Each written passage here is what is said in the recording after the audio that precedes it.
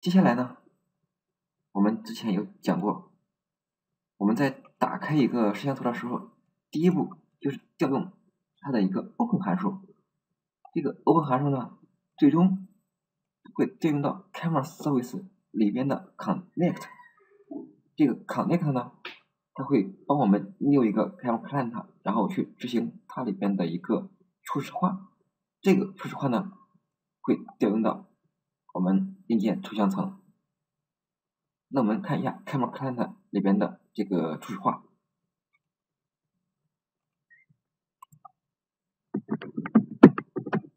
camera client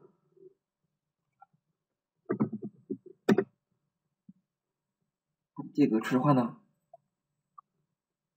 我们看到它 new 了一个 camera hardware interface。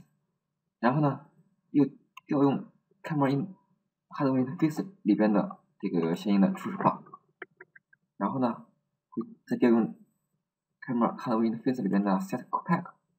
好，那么看一下，跳转到 camera interface hardware interface 里边的初始化，这里呢，我们看到它会首先调用一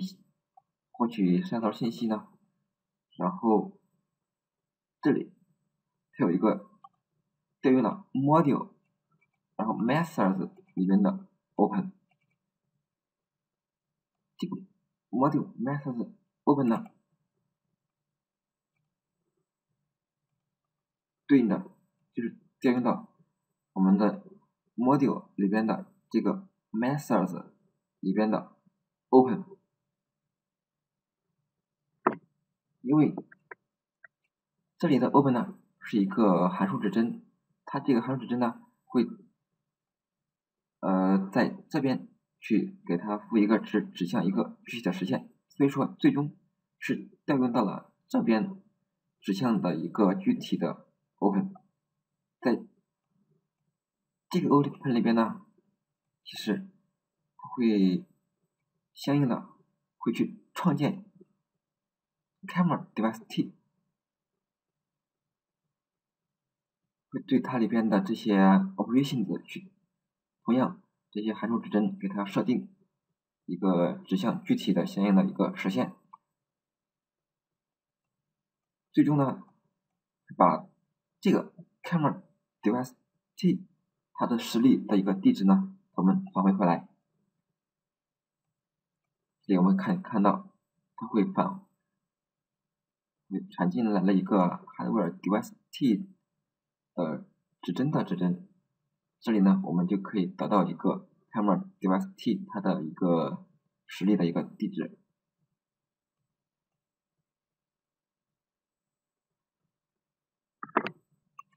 好，这个地方呢，我们同样可以找一个实例给大家看一下。我们就看一下它这里这个 module 里边 camera 的这个。它一个默认的实现，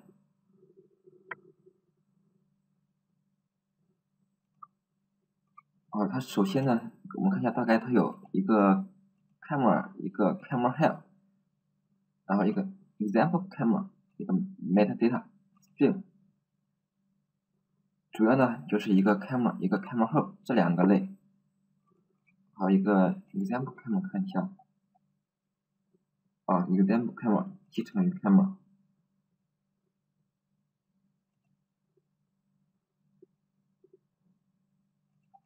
这里呢是定义了一个 camera 类，然后 example camera 呢是继承于 camera，然后这里呢定义了一个 camera help 这样一个类，这是三个主要的类，这个是 Google 给的一个默认的一个实现，呃还是比较简单的，我们就以这个为例看一下它的 open 做了些什么。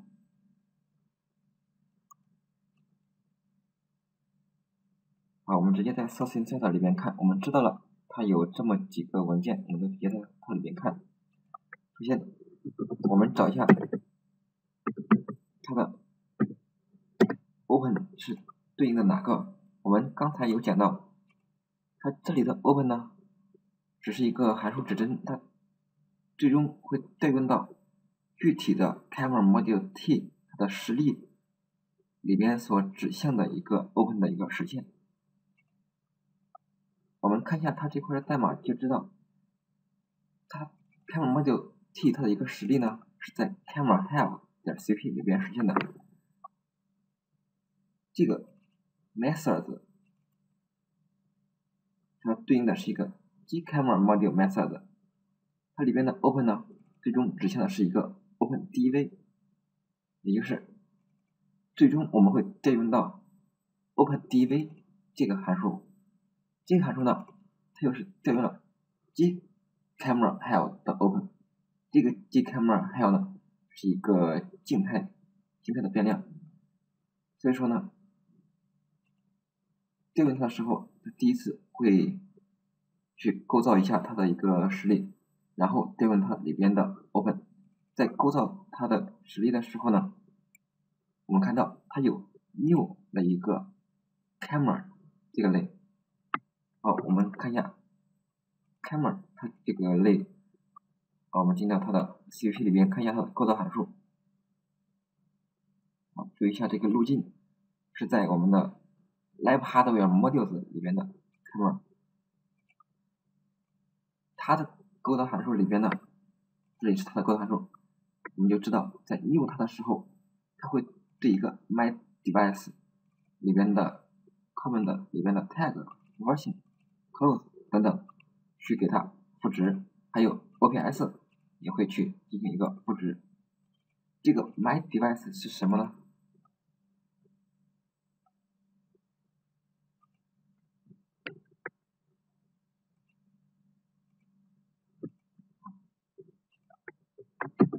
？My？device，它这个例子呢是对应的一个 camera 3 device t。我这里呢是用的 camera device t。为什么会不一样呢？呃，因为 camera 这块有两套 API，这个 camera device t 呢是对应的 API one，camera 3 device t 呢是对应的 API two。我们这里是以 API one。呃，为例，这里我给的具体呃一个默认的实现呢，是以 camera two 为例。哦，关于这个 API to API one 这个事情呢，我们后续再做一个解释。这里我们把焦点继续回到我们的 open 上，看它都做了一些什么。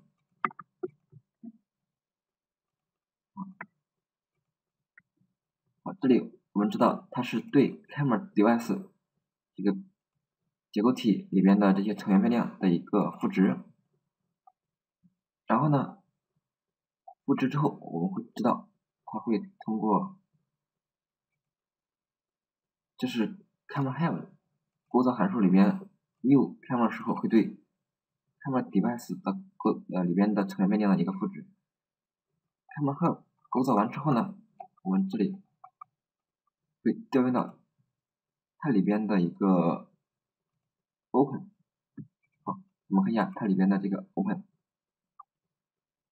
这个 open 呢，最终会调用到 my camera 里边的 open，这个 camera 呢，其实就是我们刚才用起来的这个 camera，好，那我们再看一下 camera 里边的 open 做了些什么呢？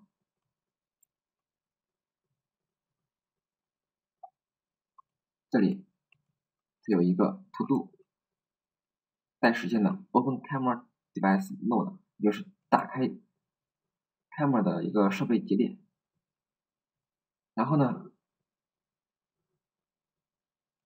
把这个 module 转换一下，同样给 device 成员变量赋值。之后呢，会把 camera device 它第一个成员变量 common，也就是对应的 hardware device 它的地址赋值给这个 device 给返回回去，也就是我们在 open 的时候主要做的第一件事，它创建一个 camera device 的实例，对它里边的函数指针和具体的呃一些成员变量呃去赋值，也就是设定函数指针。和相应具体操作函数实现的一个对应关系。第二步，打开硬件设备。第三步呢，就是返回它这个实例的地址。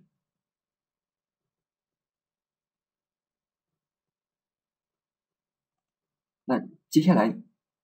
，Camera Service 又和 Hell 去做了哪些交互呢？我们之前也了解到。它会进一步调用 API 里面的 Start Preview 啦、Picture 等等，最终也会调用到 Camera Client 里边的 Start Preview、Take Picture 等等这些函数，然后进一步调用到了我们的硬件图像层。好，那我们看一下 Camera Client 里边的这些 Take Picture 啦等等是怎么调用的硬件图像层的呢？好，我们找一下。take picture，我们看到它最终这里是调用了 My Hardware 的 take picture，My Hardware 呢是对应的一个 Camera Hardware Interface，所以说最终它也是调用到这个 Camera Hardware Interface 里边的 take picture。好，那我们看一下。Camera Hardware Interface 里边的 Take Picture 呢，它是调用 My Device OPS 里边的 Take Picture。这个 My Device 是什么呢？我们知道，它这里是一个 Camera Device T 的指针，调用到 Camera Device T 里边的 OPS 里边的 Take Picture。等等，我们可以看一下别的，比如说 AutoFocus 也是调用 My Device 里边的 OPS 里边的。AutoFocus，还有 Stop Recording，同样的 Start Recording 等等这些，都是进入到 My Device 里边的 OPS 里边的新的操作函数。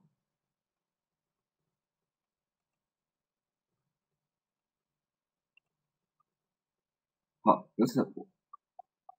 也就我们就知道了。Framework 和我们 Hardware Hardware Abstract Abstraction Layer，就是硬件抽象层的一个交互过程呢。第一步，在相应的服务起来的时候，会去调用 HW Get Module。通过 HW Get Module 呢，它会把 Hell 层的一个动态连接库给加载上来，然后呢。会获取到它里边所定义的一个这个名字，也就是 HMI 这个成员变量的一个地址。这个 HMI 呢，它其实就是一个相应的一个基于 Hardware Module T 扩充出来的一个结构体。在这里就是我们的 Camera Module T 获取到它这个结构体的地址，给我们返回到 Camera Source。然后呢，我们在获取到了 Camera Model T 它的一个地址之后，第二步就是调用它里边的 Methods 里边的 Open，因为我们这里知道，呃，像这些 Camera Model T 啦、Audio Model T 啦，它都是基于 HW Model T 扩充的，而且这里。有一个说明，每一个硬件模块都必须有一个数据结构，它的名字呢是 HML，然后呢，它的成员变量的必须以 HW_MT 来开头。为什么一定要第一个是 HW_MT 呢？这就保证了我们这两个结构体。起始地址是一样的，所以说我们返回的 camera module t 的指针，它也是指向 hw module t 的这个结构体的首地址。我们在这里呢就可以做一个转换，把 camera module t 转换为 hw module t，调用到它里边的 methods，然后从进一步调用到它里边的 open，最终呢其实还是调用到这块指向的一个我们硬件厂商所提供的一个 Open 的一个具体实现。这个 Open 呢，我们也讲到，它有做了三个工作。第一个，创建一个 Camera Device 的实例，设定一下它其中的函数指针和具体操作函数的一个对应关系。然后呢，会打开一个硬件设备节点，最终把 camera device t 这个实例的地址返回给我们。所以说，我们 camera service 呢，通过 open 进一步进入到这里边，进一步会创建一个 camera device t 的实例，然后打开，进一步往底层打开 camera 设备节点。也就是去打开我们的驱动，最终呢还会把这个 device 的地址返回给我们的 camera service。那我们 camera service 拿到了它的地址之后呢，接下来就是和它的一个具体的一个交互，会扣到它 这边相应的一个操作函数，比如说 start preview、take picture 等等。同样，这只是一个扣，我们这里还会相应的有一个往回调的一个过程。这就是 framework，这里是以 camera service 为例，怎么和硬件抽象层的一个交互，就是第一步，通过 hw get module 获取到 camera module t 的地址，通过一个指针就指向到这里。第二步呢，调用 open。创建 camera device t，并且获取到 camera device t 的一个地址，这里也有一个指针会指向它的一个地址。第三步呢，就是和 camera device t 一个具体的交互，就是调用它里边这些具体的一些操作函数，比如说 WV 取 Picture 等等。好，这就是。我们讲的 runtime 的时候的一个调用流程，也就是 hell 和 Android frameworks 的一个交互的过程。好，我们这节课呢就先讲到这里，好，谢谢大家。